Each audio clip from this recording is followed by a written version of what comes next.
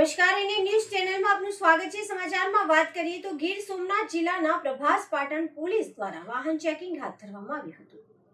ગીર સોમનાથ જિલ્લાના પ્રભાસ પાટણ પોલીસની લાલ આંખ સામે આવી. ગીર સોમનાથ જિલ્લા એસપી મનોહરસિંહ જાડેજા સાહેબની સૂચના મુજબ પ્રભાસ પાટણમાં કડકમાં કડક નાઇટ પેટ્રોલિંગ અને સતત ચેકિંગ હાથ ધરાઈ પ્રભાસ પાટણ પોલીસ ખડે પગે નાઇટ અને દિવસ એક કરીને પ્રભાસ પાટણમાં કડક કામગીરી કરતા પ્રભાસ પાટણના પોલીસ ઇન્સ્પેક્ટર ગોહિલ સાહેબ તથા સબ ઇન્સ્પેક્ટર મારુ સાહેબે સતત ચેકિંગ હાથ ધર્યું અને લાયસન્સ વગર અને ફોર વ્હીલર ગાડીઓના સીટ બેલ્ટ વગર તથા બ્લેક કાચવાળી ગાડીઓને દંડ અને ડિટેન કરવામાં આવી હતી. ચેકિંગ દરમિયાન પ્રભાસ પાટણ પીઆઈ ગોહિલ સાહેબ તથા પીએસઆઈ મારુ સાહેબ તથા કોન્સ્ટેબલ અને જીઆરડી જવાનોને સાથે રાખી અને સારી કામગીરી કરવામાં આવી હતી.